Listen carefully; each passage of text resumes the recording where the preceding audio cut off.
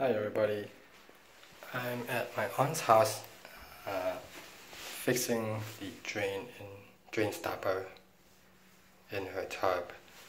Uh, I'm gonna replace this with this so it catches out of here much easier and it's much easier to clean um,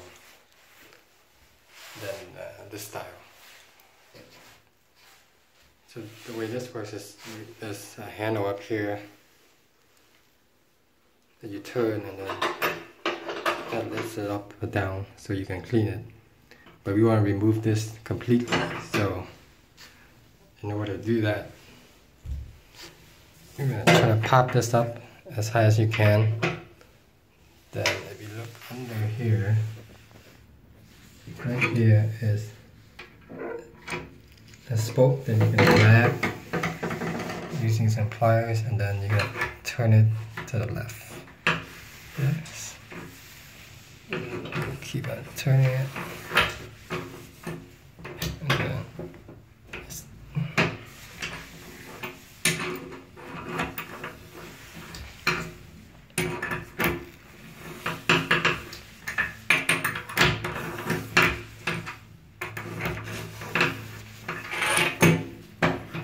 Eventually you should be able to remove it by hand.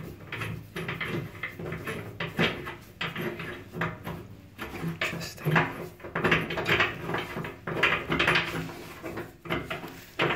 Just, uh,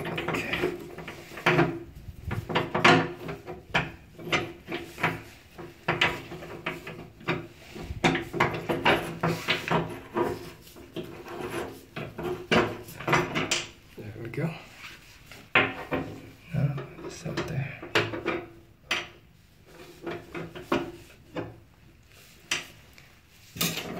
Then second step we just need to remove that plug inside and put this in there.